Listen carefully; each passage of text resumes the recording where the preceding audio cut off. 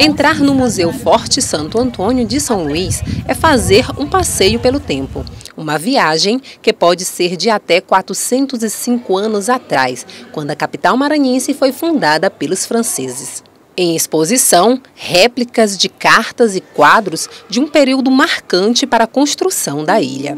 As imagens de ritos, né, é, nossos costumes folclóricos, Bumba Meu Boi, a festa do Divino em Alcântara, de modo que o turista possa vir de forma gratuita, se maravilhar com a nossa cultura, se maravilhar com as atividades que ele possa é, participar aqui dentro do museu. Este grupo de turistas se surpreendeu com tantas peças de embarcações e com a história de São Luís. É muito interessante, é muito rico realmente a cultura do que é demonstrada aqui no, no Museu Naval, né? É interessante se visitar.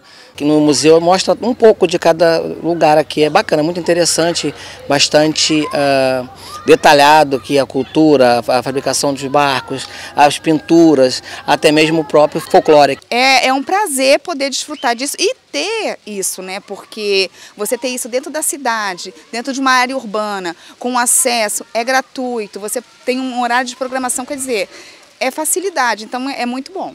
Estagiários de turismo, artes, letras, libras e história ajudam a guiar a visita. A gente está preparado para receber uh, pessoas que vêm de outros países que só falam espanhol ou inglês. E a gente tem também o guia de libras. Então, nesse caso, caso venha algum alguma pessoa surda ou alunos surdos de uma escola queiram é, marcar um dia para visitar, a gente está preparado para receber esse público. Nesta sala, exposição de fotografias tiradas por surdos através do projeto Impressão do Silêncio.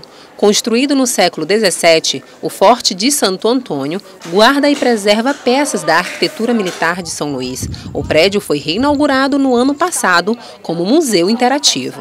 Nós temos hoje o Forte Santo Antônio como uma referência para atividade de lazer e entretenimento aos surdos na capital e, no estado, porque a gente recebe escola dos, dos municípios também que frequentam aqui o Forte.